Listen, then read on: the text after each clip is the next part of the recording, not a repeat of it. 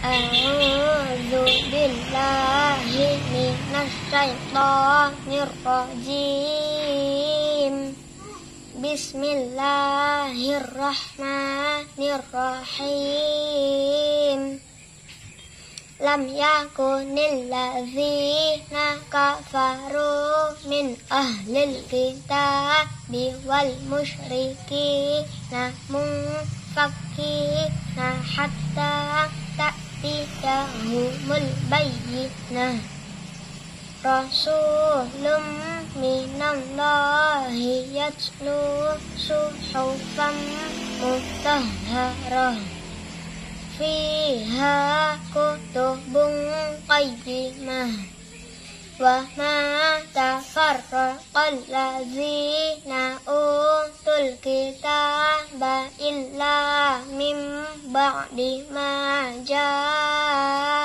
جاءتهم البينات وما أمروا إلا ليعبدوا الله مخلصين له الدين حنفاء ويقيموا الصلاة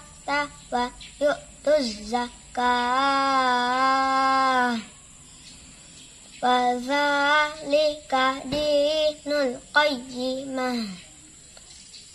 إن الذين كفروا من أهل الكتاب والمشركين في نار جهنم خالدين فيها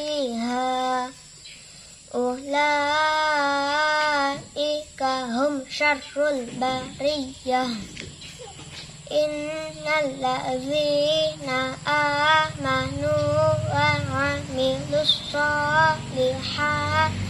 أولئك هم خير البرية جزاؤهم عند ربهم جنات عدن